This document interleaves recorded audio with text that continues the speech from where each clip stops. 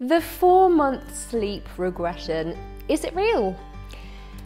Well, this is tricky because yes, there are some things that go on in sort of four and five months in, um, and it can often be seen or feel like there's a regression. But I want to give you some thought points today, things to think about that will help you maneuver your way through this phase with more ease because having a good understanding of it will definitely help you with this. The first one is I really like to think of these things as a progression, not a regression.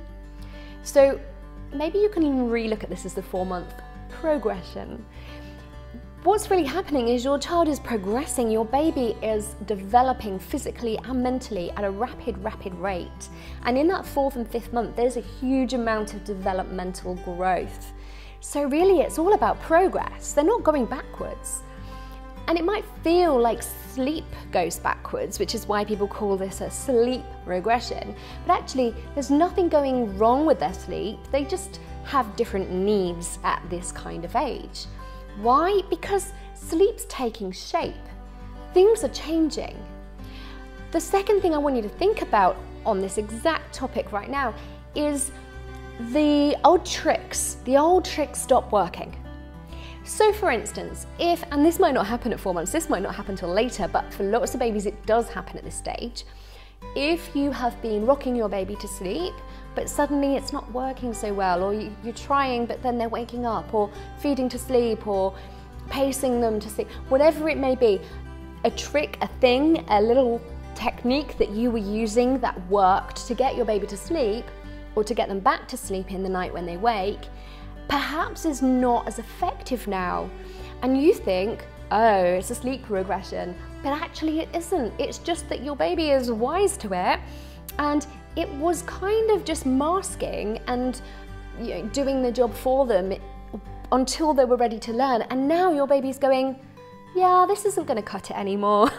and it's a sign that they're ready to learn a bit more. They're ready to develop some better sleep skills and start doing a little bit more of that sleep stuff and not have you do it all for them. So the old tricks might stop working. That was my second point there. The third thing is naps become a bit more organized around this stage. They start to fall into better rhythms. So up until now, naps have probably been quite haphazard, snatch and grab, short and often, um, not really very predictable, and that's very normal for the first few months. But you're coming into a stage now where they may be taking better shape. They're a bit more structured. Your baby is managing to be awake for a chunk of time and then needs to sleep, and then awake for a chunk of time and needs to sleep, and it's much more rhythmic and patterned and structured.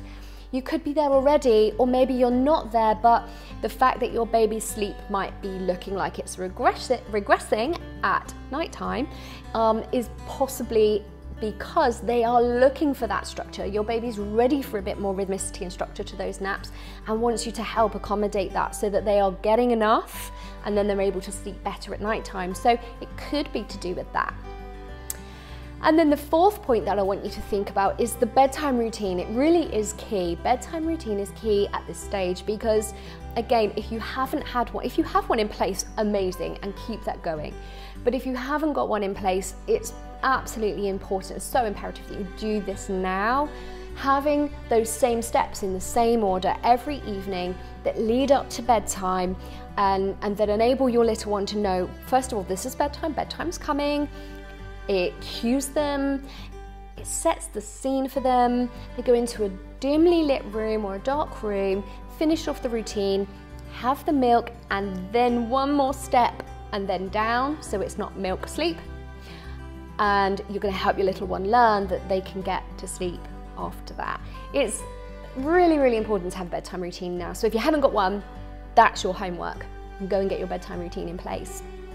So really to conclude, I just want you to consider that at four or five months, your baby's sleep isn't regressing, everything else is progressing and your baby's looking for your help to just line things up a little bit and help them to get where they need to be and where they're ready to be because sometimes they're ready and able to do a lot more than we give them credit for.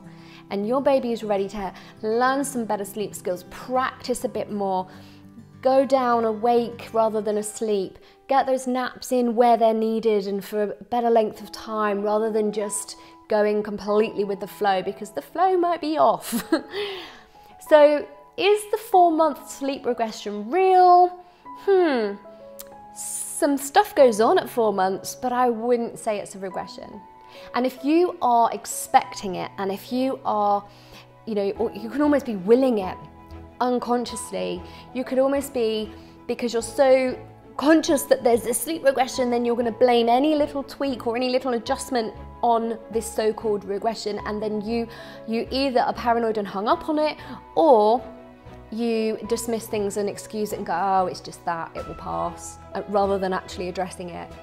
So I think it's safer to go, look, four month sleep regression, pa. My baby is developing and needs more from me. What do we need to work on? Let's get the best from our little one's sleep. So I hope this has helped you with the topic of the four month sleep regression. If you know any friends that this would help, please do share it with them because the more people we can reach and help, the better. The more babies we can get sleeping, the more parents we can get rested, and everybody's happier and healthier. If you subscribe to the show, you'll get notifications when we release new episodes.